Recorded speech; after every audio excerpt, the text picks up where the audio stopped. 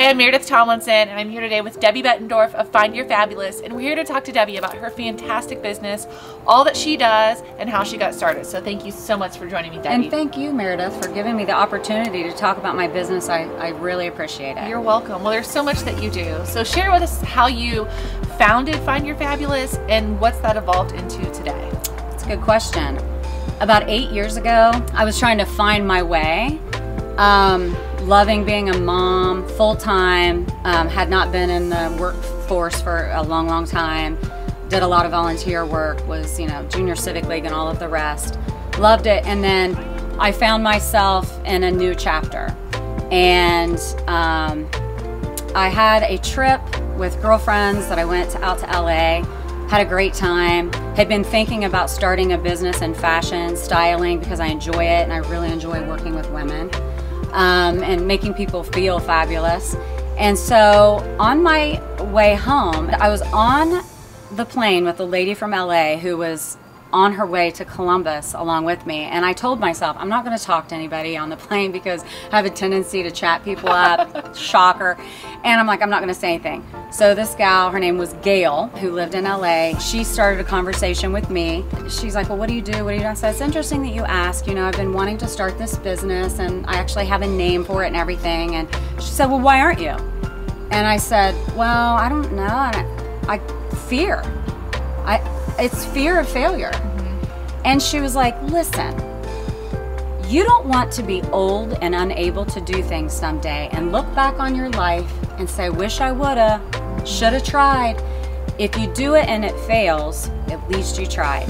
And she even worked for a place called Camp Powerment that was covered in Oprah magazine and on on the Oprah network where women go to find who they are and it was it was so empowering to talk to her. And i started that i started it. I thought you know what? I'm gonna kick fear's ass and i'm gonna go for it. And you know what it's been a lovely journey. When it started back in 2014 i said okay i'm gonna work with women one-on-one and help them find their fabulous. And it's i've talked to you a little bit before fabulous isn't about the clothes. And i've learned that more and more on this journey fabulous is here. Mm-hmm. And you believing in yourself and loving you.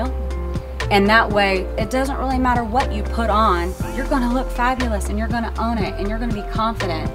And so it, it went from personal styling to um, doing groups of women, you know, like Pashmina parties and fun stuff like that, to Martha Tenedo, who works for Ohio University, calling me and saying, What do you think about talking to my students about what to wear for an interview and preparing. I'm like, okay. And then that escalated into other avenues and other schools calling me to come and you know give presentations, and um, that's kind of how it evolved, and it and it grew that way. And so yeah, it's been a such a such a journey and a pleasant one, and I feel like I've grown through it as well. So.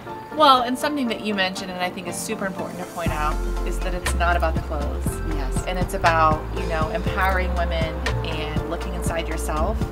And through that has inspired you yourself to do. I know. Even more. Even so more. So share a little bit about that. Yes. So um, once again, digging deep and kicking fear's ass, I have been working on a book.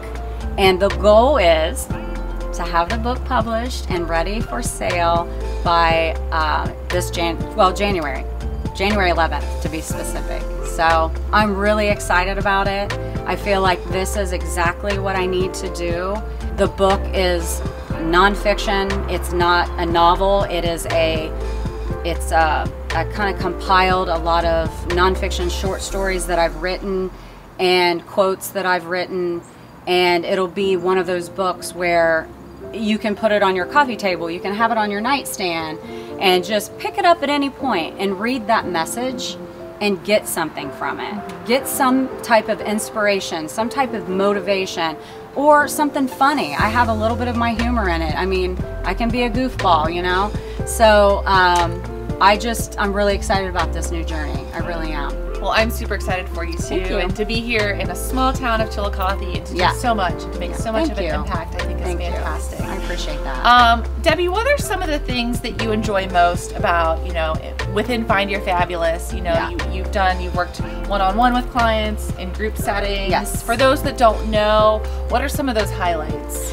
Right. So, um, my favorite thing to do is I do like working one on one with women because when you work with appearances, you learn a lot about them, they learn a lot about themselves, and you learn a lot about yourself in the process. Working with appearances, they have to be unguarded and let it out, and they're trying on clothes in front of me and they're getting my opinion, and I'm giving them, and it, and it turns into a real friendship. All of the clients that I've had um, that I didn't know prior, we get together, and it's so to the core and real that uh, it's really empowering and we've stayed in touch and you know almost like a friendship there i love that part but but what it does it does take a ton of time um, me just being one person giving an eight hour day to one person it's really difficult to share what I have to offer.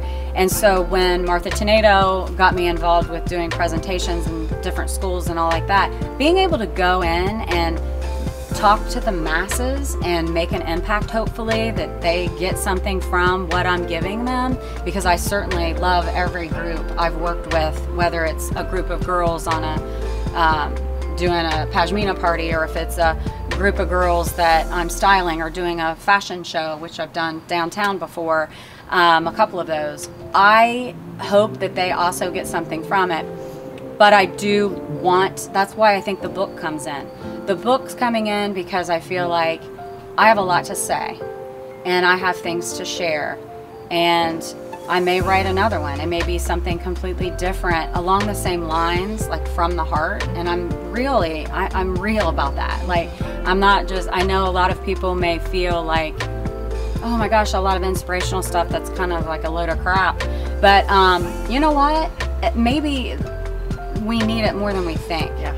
And so uh, it means something to me, and it's coming from my authentic self.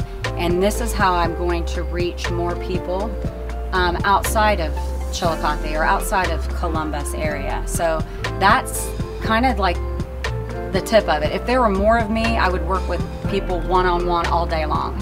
But I, I feel like there's more for me, and that's why I'm going for it.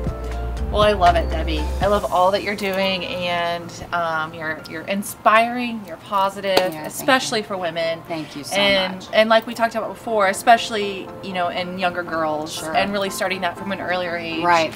Um, and inspiring them and, and teaching them to be positive and, and kind to each other. I think is super important. Oh, I do too. So thank you for all that you do, and I look forward to, to learning more about the book as that's Yeah. going to roll out. Yeah. And um, you guys stay tuned because Debbie's going to be doing some super fun things with some women downtown. Yay! Um, We're planning it. Ready. experiences. So stay tuned, guys.